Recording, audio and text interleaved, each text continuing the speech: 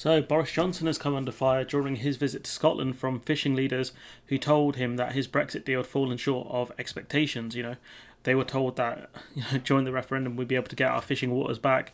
We can be like Norway, we can be like Switzerland, we can be like so many other countries. And that didn't happen. And fishermen in Scotland are mad, and apparently they were, th- you know, they were hitting Boris Johnson with some pelters there, some mean words.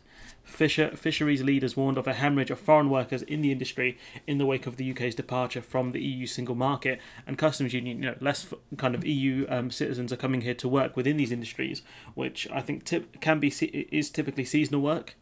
Um, they're not coming here and they're not helping the industry out like we need. We need um, you know seasonal workers and you know workers in general from the EU to help push the economy. That's not happening. You know, fishing fisheries. You're talking about skilled work as well, generally he heard complaints about Boris heard complaints about new red tape. It's not new red tape, is it? It's red tape we have fallen foul of. Let's let's be real here. And delays resulting from Brexit, which have hit the industry north of the border. Scotland, you know, fishing is very popular over there, and there are a lot of fishermen, and they're more willing to, you know, uh, you know, get attack the government over their kind of false promises than you know English fishermen are, or even Welsh fishermen are, which is just odd. The Prime Minister was joined by Business Secretary Kwasi Kwarteng, Scotland's um, Office Minister David um, Duguid and Scotland's Tory leader Douglas Ross. I mean, those two of those three people had some alliteration in their name there. Incredible stuff.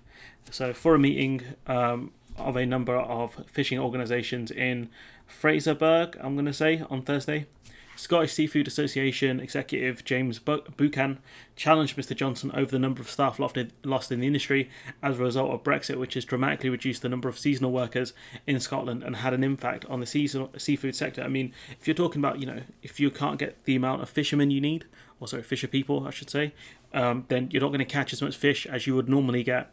If you don't have the staff within processing, you're not going to be able to process the fish, which means fish gets wasted, essentially can't you know can't be used because uh, seafood, fresh seafood, has a very short shelf life. If you don't have the HGV drivers to drive the fish to the um, processing plants or to the shops or for export, another problem. Following the meeting, Mr. Buchan I saw, said I, I sought assurances that the government would work closely with us to resolve the critical shortage of labour. I mean, that ain't going to happen, dog. He agreed that a campaign was required to encourage young people into the industry and on the need for direct action to stem the hemorrhage of overseas workers that has occurred since the 1st of January. Unless they're put on the emergency visa list, um, that's not nothing will change from that. Mr. Buchan was also among the sector leaders to tell the Prime Minister his EU trade deal, which allowed EU fleets largely uncha- uh, unchanged access to UK waters until 2026, had fallen short of expectations. Like, what did you guys expect? We knew the EU weren't going to buckle on this. It's either you get the current deal we have with regards to fisheries, or you go back to the old 12 mile limit or whatever, but then what happens? All your fish exports face tariffs. And we know people in Britain don't eat a lot of fish um, a lot of it gets exported. What's the plan here, mate? That's what I'm asking. Because you have no idea what you're talking about, Mr. Buchan. Elizabeth MacDonald, the chief executive of the F- Scottish Fishermen's um, Federation, said Mr. Johnson had a duty to support the sector between now and when the access for EU fishermen expires. I don't know what the hell's going on in this video, sorry about that. I mean, yeah, but the, again, if if the UK doesn't renew this fishing agreement in 2026, the EU are going to hit us with massive tariffs on fishing. That's what's going to happen. Like, do you guys not understand this? I don't get it. And you're the chief executive of the Scottish Fishermen's Federation. Like, are, how are you failing to understand that? It's either you agree to a similar deal to what we have now in 2026, or you face tariffs.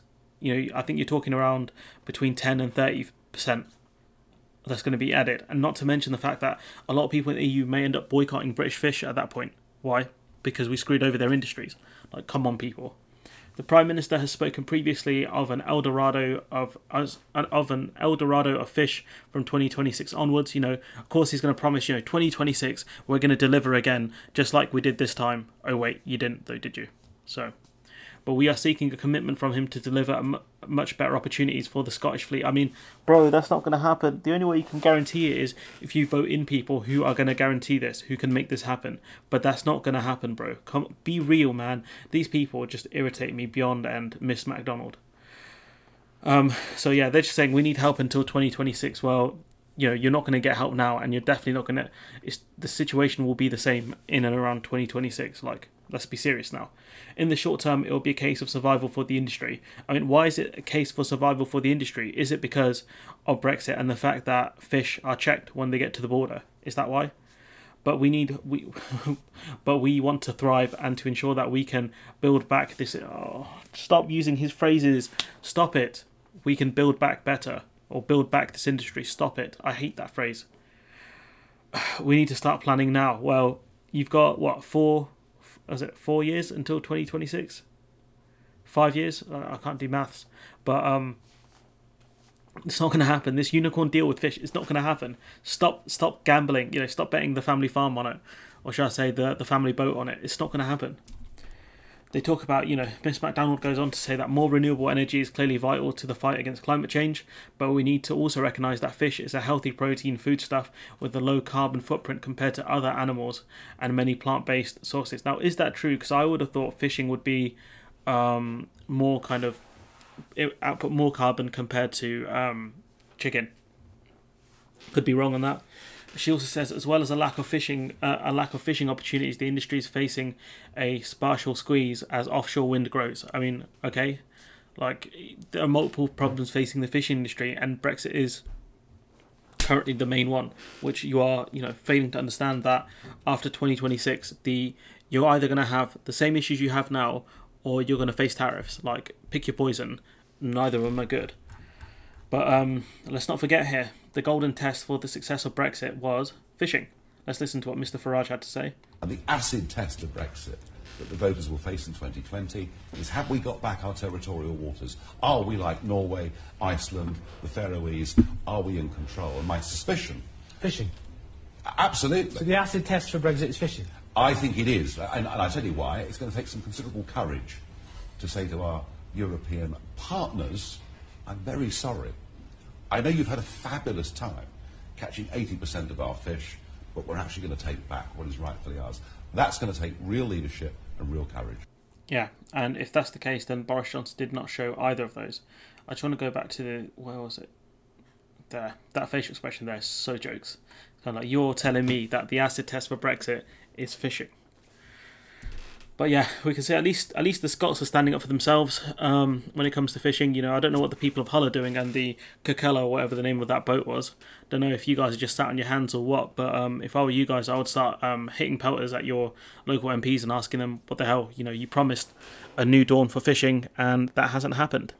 But anyways, I'm going to leave it there. Let me know what you think in the comments below. Like, comment, share, subscribe, and hopefully I'll see you in the next one.